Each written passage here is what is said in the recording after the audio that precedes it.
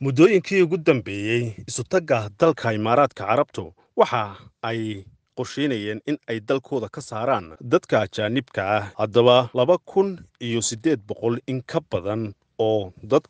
ka soo jeeda adduunka intiisa kale oo la sheegay in ay somalilanna ku jirto waxaa dowladda imaaraadku ay u qorshaysay saddex iyo labaatan duulimaad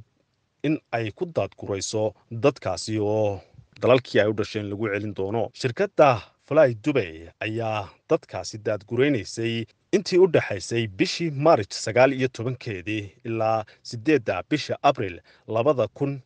iyo labaatan labaatan waa bishan aynu ku jirne dadkaasi oo imaaraadku sheegay in dib loogu celinayo shirkadda fly dubay duulimaadyadeedii bishii la soo dhaafay waxa ay rakaabkan ku daabulaysay waddamo ay ka mid yihiin afghanistan masar iiraan suudan tailan somalilan oo la sheegay in ay ku jirto waddamada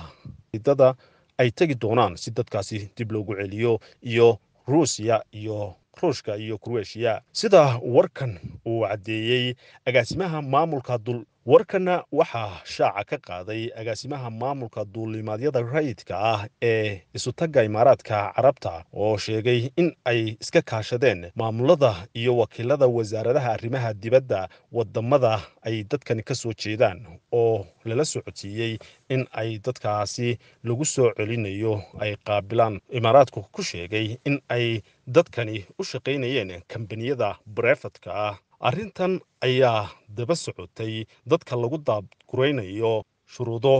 ay soo saartay wasaaradda khayraadka ee imaaraadka waxaana shuruudahan lagu soo rogay dadka u shaqeeya shirkadaha barefadka ilaa hadda ma cadda in duulimaadyada dadka imaaraadku sheegay in ay dalalkoodii ku celinayaan ay ku jirto somalilan iyo in kale. Waa maxamed xuseen jaamac star t v hargeysa